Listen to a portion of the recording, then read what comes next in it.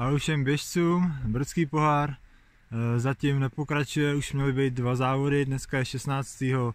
ledna 2021, takže už měl být v plném proudu brdský pohár, ale co se dá dělat, eh, pořadatelé ale eh, vymysleli takovou zábavu, trénink, zpestření, virtuální běhy tady v okolí Příbramy, takže já si jdu proběhnout po první trase lednový.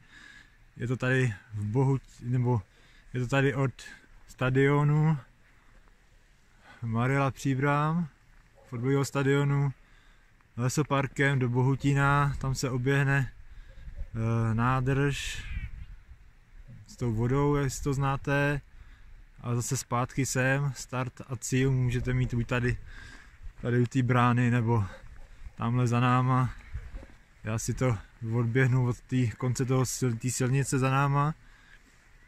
Takže jdu na to, počasí je super, asi minus 3 stupně, sníh, takže to bude krásný naběhání, doporučuji všem. Ozvu se třeba v půlce trasy a pak na konci, jaký to bylo. Tak jo, tady polovina trasy, Bohutíně 4,5 km. Značení je dobrý, šipky na stromech. Všude sníh krásný. Taky vidět i na běžkách. Můžeme.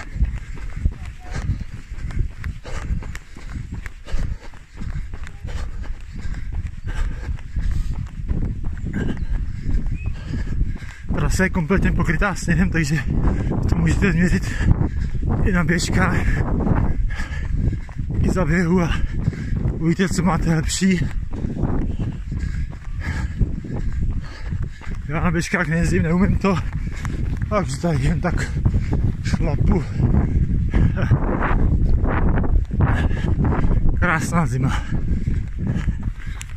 Tak jak vidíte, jak už jsem zpátky tady u hřiště fotbalového. Teď jsem doběhl, udělal jsem teda 8,85 km 43-47, tempo pěkný, pod 5 minut na kilometr jsem držel. Sníh je, je takový zmrzlej, takže to moc ani neklouže.